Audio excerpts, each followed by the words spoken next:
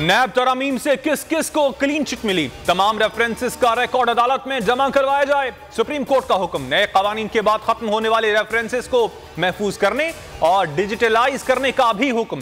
Supreme court में तहरीक इंसाफ की दरखास्त पर नैब तरामीम के खिलाफ दरखास्त की समात हुई।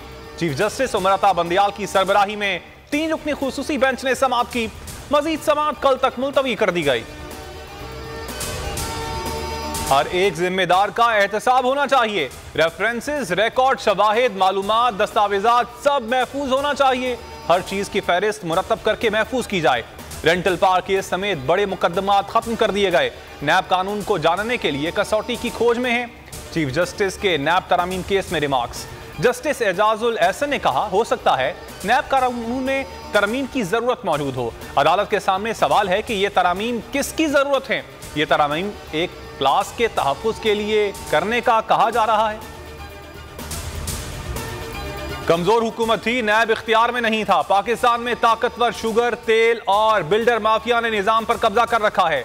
अब कमज़ोर हुकूमत कबूल नहीं करूँगा। इमरान खान की इस्लामाबाद में सहाफियों से गुफ्तगु कहा, फौरी और शफाफ इंतबात बहरान का वाहिद ज़रिया है। करप्ट अशराफिया ने मफादात के लिए कानून की पामाली का कल्चर परवान चढ़ाया। कानून की हुक्मरानी के बगैर खुशहाल मुआरे की तश्कील नहीं हो सकती। हलफ की खिलाफ वर्जी की ममनुआ फंडिंग में तहरीक इंसाफ को सिंगल आउट करके कार्रवाई की। जिमनी इलेक्शन मुलतवी करने के हरबे इस्तेमाल किए। पीटीआई ने सिकंदर सुल्तान राजा के खिलाफ रेफरेंस सुप्रीम जुडिशल काउंसिल में दायर कर दिया। एजाज चौधरी कहते हैं, पूरी कौम का कर्ज था, अदा कर दिया। मलिका बुखारी बोली, चीफ इलेक्शन कमिश्नर का किरदार जानबदार है।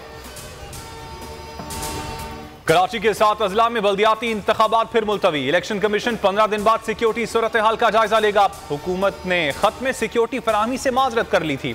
लिखा पाक आर्मी, सरहदों और सैलाब रिलीफ ऑपरेशन में मसरूफ है। एहलकार फराहम नहीं किए जा सकते। चीफ इलेक्शन कमिश्नर ने कहा, कराची में बल्दियाती इलेक्शन करवाने की हर मुमकिन कोशिश की। लॉन्ग मार्च रोकने के लिए पच्चीस हज़ार एहलकार देने को तैयार हैं। बल्दियाती इंतबात के लिए सोलह हज़ार एहलकार नहीं दे सकते। पीटीआई का सख्त रद्द अमल। इमरान इस्माइल ने बोल से गुफ्तगु में कहा, इलेक्शन कमीशन ने तमाशा लगाया हुआ है। ये इलेक्शन से भाग रहे हैं, अपनी शिकस्त देख ली है। अली जैदी ने कहा, मालूम था ये इलेक्शन से डरते हैं। शर्जील मेमन बोले, पीपल्स पार्टी कभी इलेक्शन से नहीं भागती। एक मरहले में इलेक्शन करवाना मुश्किल था। मुतालबात नहीं माने गए, हुकूमत में रहने का जवाब नहीं बनता। एम क्यू एम ने एक मरतबा फिर इतिहादी हुकूमत से अलग होने का इंदिया दे दिया। शहबाज शरीफ से मुतहदा रहनुमाओं की मुलाकात शिकवे शिकायतों के अंबार लगा दिए। शहबाज शरीफ तिफल तसलियाँ देते रहे। एम क्यू एम पाकिस्तानी इख्तलाफात की तरदीद कर दी। पाकिस्तान का जौहरी प्रोग्राम महफूज हाथों में है। एटमी असासों की हिफाजत के लिए तमाम ज़रूरी इकदाम किए गए हैं। जीएचक्यू में आर्मी चीफ की जेर सदारत कोर कमांडर्स कॉन्फ्रेंस। आईएसपीआर के मुताबिक शुरा ने न्यूक्लियर कमांड कंट्रोल सिस्टम पर मुकम्मल एतमाद का इजहार किया। कहा, स्ट्रेटेजिक असासों का जाम निज़ाम है। जनरल कमर जावेद बाजवा का कहना था, वतन के दिफा के लिए पाक अफवाज हम वक्त तैयार हैं। लाल हवेली के लिए मेरी लाश से गुजरना पड़ेगा। किसी में हिम्मत है तो लाल हवेली लेकर दिखाएँ। शेख रशीद की बोल न्यूज़ के प्रोग्राम तजिया में गुफ्तु कहा अक्टूबर, नवंबर में सियासत फाइनल हो जाएगी। नून लीग का सियासी वोट खत्म हो चुका है। शहबाज शरीफ को इलेक्शन में पोलिंग एजेंट नहीं मिलेंगे। और भारतीय क्रिकेट बोर्ड ने एशियन क्रिकेट काउंसिल को नजरअंदाज कर दिया। एशिया कप न्यूट्रल वेन्यू पर करवाने का यकतरफा फैसला कर लिया। सेक्रेटरी बीसीसीआई जेशा कहते हैं, पाकिस्तानी टीम नहीं भेजेंगे और एशिया कप न्यूट्रल वेन्यू पर खेलेंगे।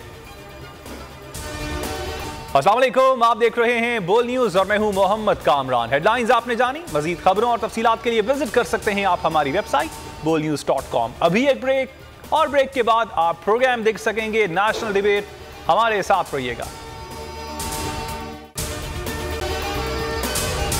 अगर आपको ये वीडियो पसंद आई तो हमारे चैनल को सब्सक्राइब करें और बेल आइकन पर क्लिक करें। सबसे बड़ी कवरेज, सबसे बड़े पैनलिस्ट हमने तो बड़ी पीएमएलएन के वार सहे वो भी बिला वजह। सबसे ज़्यादा रिपोर्टर्स। इलेक्शन कमीशन की जानब से कोई इंतज़ाम इतने अच्छे तरीके से नहीं किए गए। बोल की रिवायत सबसे पहला नतीजा। अहम खबर है बहावल नगर भी कप्तान का। पीटीआई कामयाब मुकम्मल गैर हतमी गैर सरकारी नतीजा सिर्फ़ बोल न्यूज़ पर। लम्हा बा लम्हा इलेक्शन की खबर सिर्फ़ बोल पर।